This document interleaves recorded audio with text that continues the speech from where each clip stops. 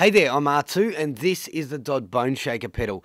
Now Digitech have teamed up with their friends at Black Arts Toneworks to bring you this pedal where they've specifically designed the circuit for low end guitars, so baritones, seven strings, even bass. Now this is our first look at the pedal, there's a massive scope of frequency adjustment here. In addition to the Boneshaker's distortion, depth and level controls, it also features independent low level, low frequency, mid level, mid frequency, high level and high frequency controls. It's that incredibly versatile three band parametric EQ that makes the Boneshaker stand out from all other distortion stomp boxes.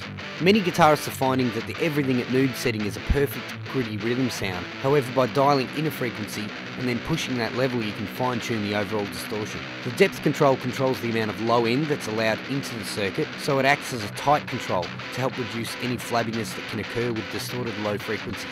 As with all of the DOD pedals, the Boneshaker contains true bypass circuitry, which allows your guitar tone to remain pristine even when it's off, has a crisp blue status LED, an aluminium chassis, and a 9 volt power supply makes it pedalboard friendly. Now that was our first look at the Boneshaker, but stay tuned for more clips of its various uses.